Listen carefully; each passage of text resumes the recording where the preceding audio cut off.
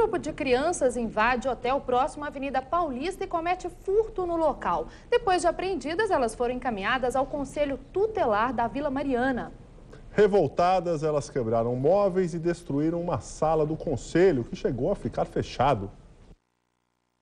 Grupo é formado por cinco meninas e dois meninos. As câmeras de segurança mostram o momento em que eles invadem o hotel e sobem as escadas em direção aos quartos, onde teriam apanhado o celular deixado por uma camareira. Em seguida, o grupo desce as escadas correndo. Funcionários aparecem e tentam alcançar as crianças.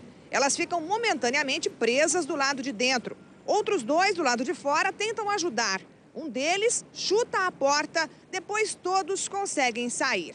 As crianças foram alcançadas por policiais da estação Paraíso do metrô e levadas para a delegacia. De lá, foram para o Conselho Tutelar da Vila Mariana. Quando soube que seria separado, o grupo deu trabalho, atirou objetos e móveis no chão. Ainda não foi confirmada a idade de todas as crianças. Duas meninas têm mais de 12 anos e foram encaminhadas para a Fundação Casa.